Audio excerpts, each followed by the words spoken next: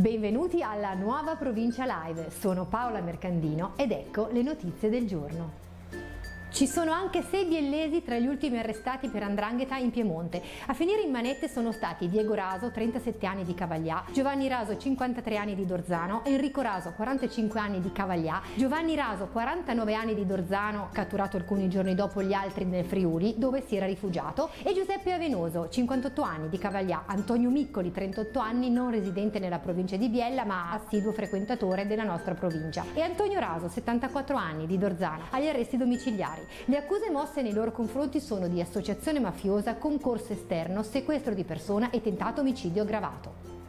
È stato assolto il pescivendolo di Torino accusato dagli animalisti del Meta di maltrattare le aragoste. La sua colpa sarebbe stata quella di averle tenute nel ghiaccio con le chele legate. La sentenza non è piaciuta agli animalisti che hanno protestato di fronte al Tribunale di Torino. Secondo il giudice che ha assolto il venditore, per particolare tenuità del fatto, non si può parlare di maltrattamenti, ma delle abitudini e tecniche di conservazione in ghiaccio per crostacei, comunque destinati alla vendita e alla cottura.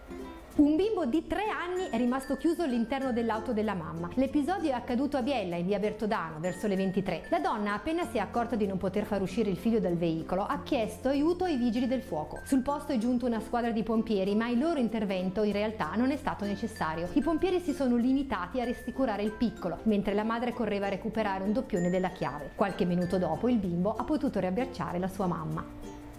Prosegue il caldo nella giornata odierna. Le temperature minime si dovrebbero mantenere tra i 18 e i 20 gradi. Aumenterà anche la sensazione di caldo nelle principali ore della giornata. Il termometro segnerà 35 gradi, ma a causa dei livelli di umidità alti la temperatura percepita sarà di 38. Da domani il graduale avvicinamento di una sacca atlantica dalla Francia inizierà a portare un graduale aumento dell'instabilità atmosferica.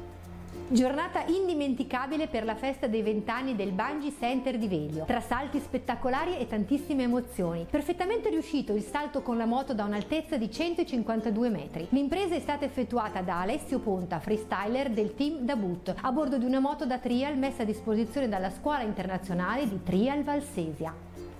Per oggi è tutto, vi auguro una buona giornata.